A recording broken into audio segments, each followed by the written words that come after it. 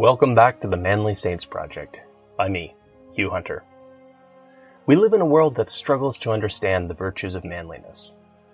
Our culture doesn't provide young men, or any men for that matter, with a lot of positive male role models. When I became a Catholic, I wanted to show how the saints could be manly role models for us.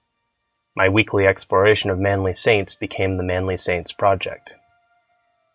If you enjoy my work, please consider signing up and supporting me on Substack, or click the links in the show notes to buy me a beer. Now, let's meet this week's Manly Saint.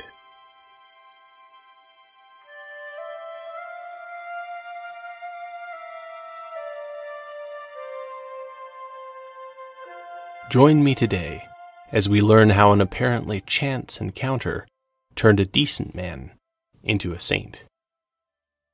Name Basilides. Lived.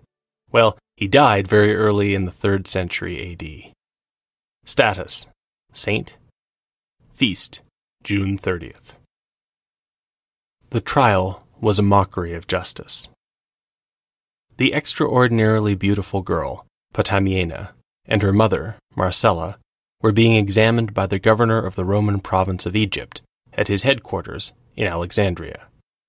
The official reason was because they were Christians, but everyone knew that wasn't really what the trial was about. What it was really about was that Potamiena had refused to have sex with a rich man. The rich man had used his connections and his wealth and the fact that Potamiena and Marcella really were Christians to get them caught up in the latest anti Christian persecution. The way the rich man imagined it, Potamiena would be shown the instruments of torture and would be so scared that she'd do whatever he asked. It wasn't working out that way. Potamiena was standing her ground. She had already been tortured once, and she remained defiant. The trial took place in Roman Alexandria in the opening years of the 3rd century AD. It was the sort of corruption you might see in such a vast city, where half a million Greeks, Egyptians, and Jews lived together under Roman rule. Commerce had made the city rich. Merchants came and went from the harbor, exporting Egyptian produce and importing goods from all over the empire, guided by the towering lighthouse, a wonder of the ancient world. The back streets of Alexandria were the environment in which our manly saint, Basilides, lived. From his Greek name, we can guess that he was very likely born in Alexandria, joining the Roman army through a local recruiter. Basilides was a pagan. He would have worshipped the meld of Roman and Egyptian deities honored in Alexandria. Perhaps, like many soldiers at the time, he was also initiated into the worship of the Persian god Mithras. Basilides may well have spent his whole career as a soldier in Egypt, but he would have had combat experience, since he had been promoted at least to the level of a junior officer.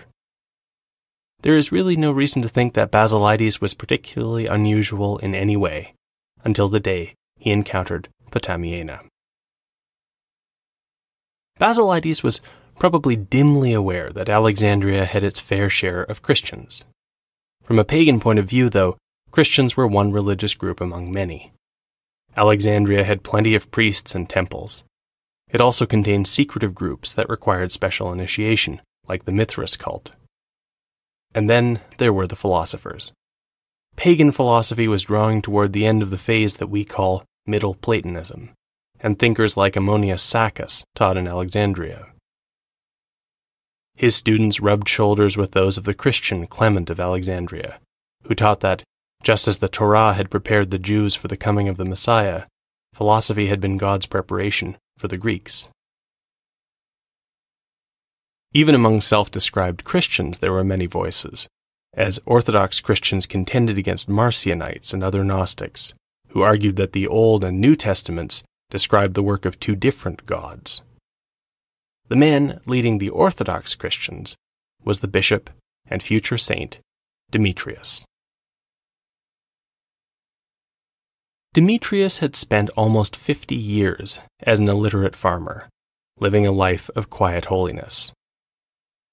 And then one day, his predecessor had dreamed of an angel who said that the next bishop of Alexandria would be the man who gave him grapes even though it was the wrong time of year for grapes. The very next day, Demetrius the farmer showed up, looking for a blessing and bringing the bishop a gift of grapes that he had somehow been able to grow. The bishop took Demetrius by the hand and proclaimed that this illiterate farmer would be his successor. I imagine that many people were worried about the elevation of Demetrius. They didn't need to worry for long. Demetrius easily learned to read and write.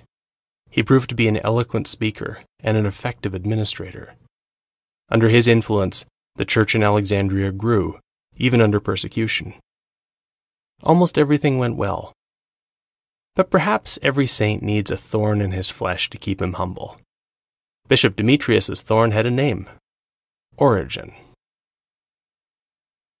The last character in the story of how Basilides became a saint is the philosopher and theologian Origen. Origen was a truly extraordinary thinker, a genius who simultaneously impressed, baffled, and worried Bishop Demetrius and thinking Christians for the next 1800 years. Origen is a church father, but he is not a saint. He taught speculatively about areas in which there was not a developed theology, and his speculations were bold, some would say too bold. Because of his murky legacy, most of the 320 books he wrote, yes, you heard that number correctly, were not preserved. But it seems to me that Benedict XVI was right when he said of Origen that he was, quote, not only a brilliant theologian, but also an exemplary witness of the doctrine he passed on. Unquote. No one ever denied that Origen was brilliant. It's the only way to explain his rise to prominence in Alexandria. Origen's father was a Roman citizen who married a non citizen, meaning that Origen did not inherit citizenship. His father had a collection of books, and young Origen read them eagerly, learning the literature and style of the Greek Renaissance we call the Second Sophistic. Soon Origen wanted real conversation, and he was soaking up teachings from the pagan, Gnostic, and Christian thinkers in Alexandria. He sounded like a young philosopher, and tried to dress like one too. Nowadays, smart people are supposed to look messy, like Einstein, or casual cool, like Steve Jobs. At the time, the stereotype of a philosopher was someone who lived with few possessions, barefoot with just a cloak. So that is what Origen did. It helped that his family didn't have a lot of money. Then, in 202 AD, the Roman Emperor Septimus Severus made a decision that brought together all the strands of our story. He decided to crack down on Christians throughout the empire.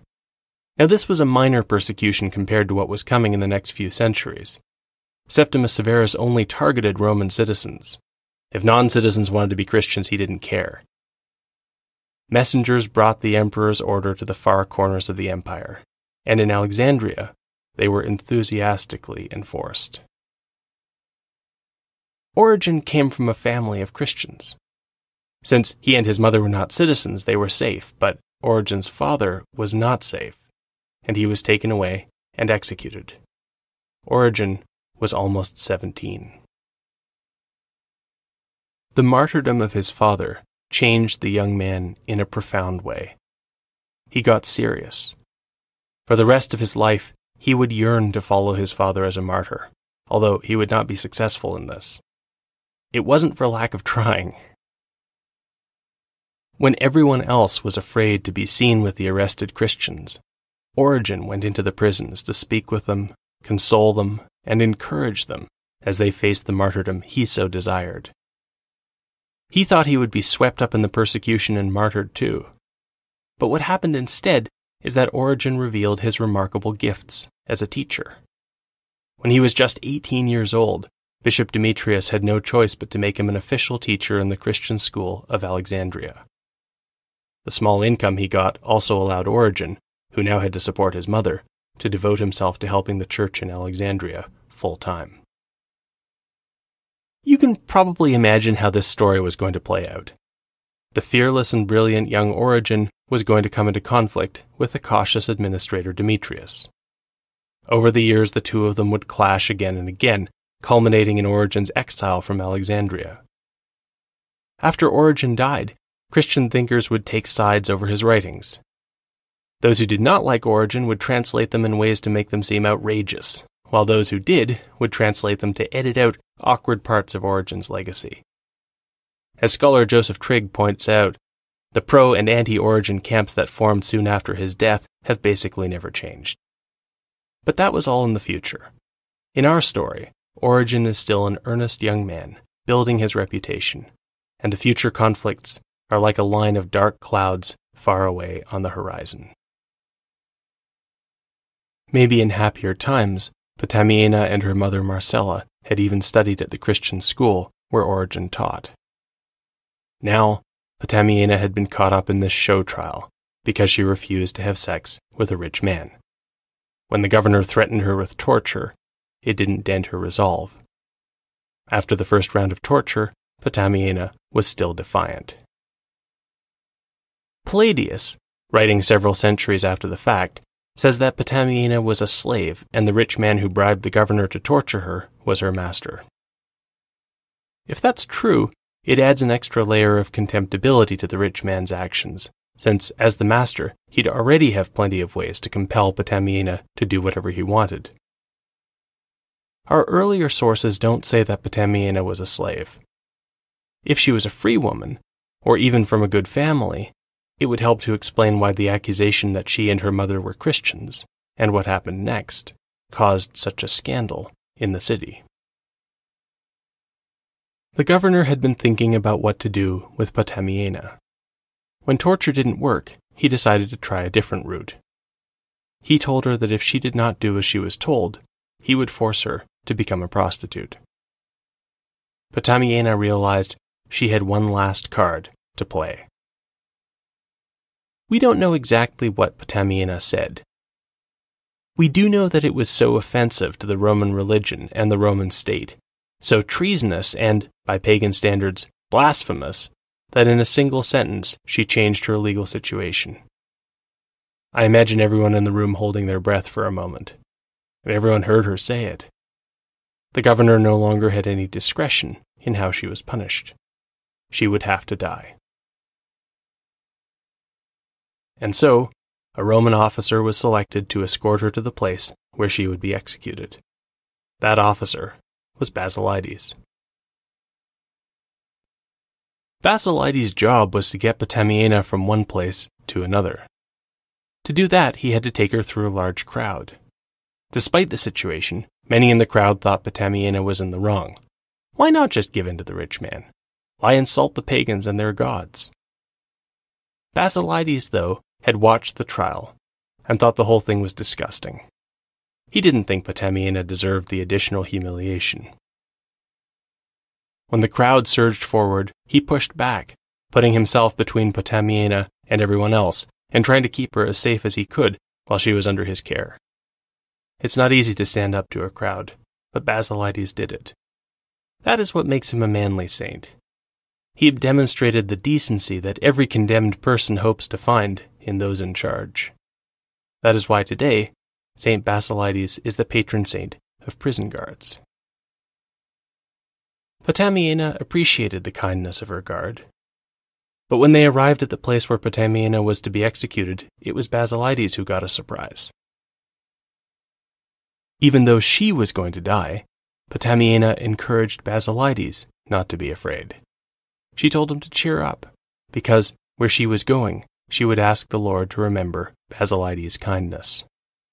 And then, with courage which impressed all of Alexandria, she went to her death. Several days later, Basilides and his men were to perform a routine task which required them to pay allegiance to the gods, perhaps to the statue of the emperor. Basilides told his fellow soldiers that he couldn't do it. He was a Christian. At first, they all had a good laugh.